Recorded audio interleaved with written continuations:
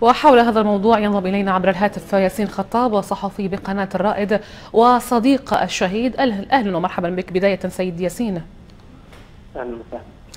آه، بداية حدثنا عن آخر تغطيات قام بها الصحفي عبد القادر فسوق في محاور قتال مدينة سرت. نعم. بداية فوجئنا جميعا يعني كأسرة الرائد بفقدان أحد أبناء هذه المؤسسة وأحد أبناء هذه الأسرة عبد القادر فسوق وإلى الآن يعني لا يزال لا تزال الصدمة ولا يزال الذهول هو سيد الموقف إلى الآن آه، كل الزملاء هنا في غرفة الأخبار غير لم يستوعبوا بعد يعني آه، خبر استشهاد آه، عبد القادر فتوك.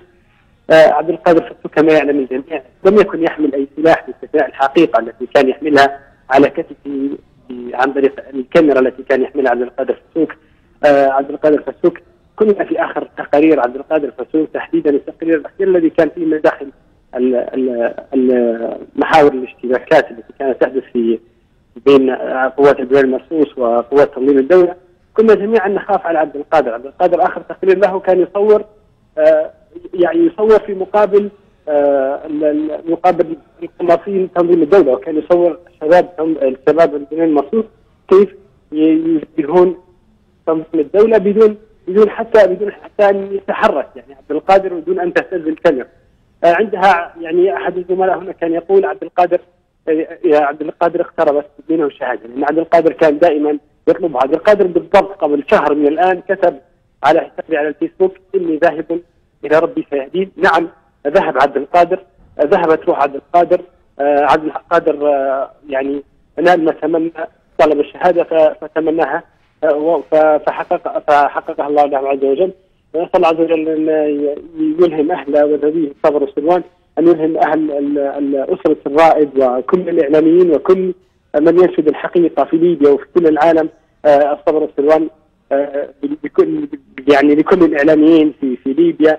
هذه هذه الحاجة تعد تعد فاجعة للجميع لأن عبد القادر آه، كان كان لا يحمل سلاح الا إلا الحقيقة طيب سيد ياسين كما تعلم أن الصحفي عبد القادر عبد القادر فسوق كان يعمل هنا في قناة النبأ حدثنا عندما انتقل إلى قناة الرائد كيف كانت سيرته الصحفية في قناة قناة الرائد؟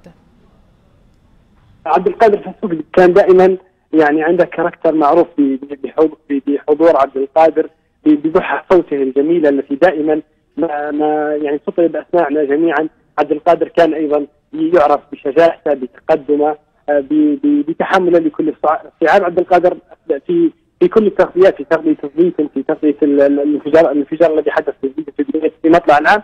وكذلك اليوم وكذلك في في كاس البنيان المخصوص. عبد القادر كان لحظة بلحظة كان يرسل أكثر من تقرير. اليوم كان يرسل هو الصور أحيانا يصور هو بنفسه ويكتب التقرير ويرسل الصورة ومن ثم يرسل تقرير آخر وهو وهو يصور وهو من يصور. عبد القادر كان نموذج للإنسان الإنسان الناجح الإنسان كان يؤمن بهذه القيمة.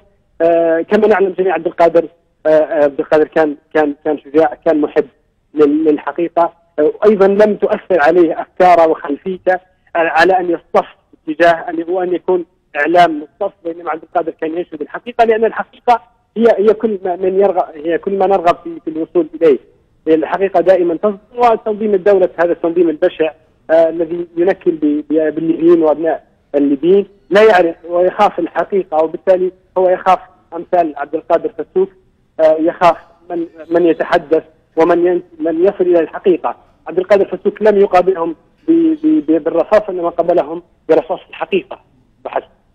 نعم سيد ياسين خطاب الصحفي بقناة الرائد شكرا جزيلا لك.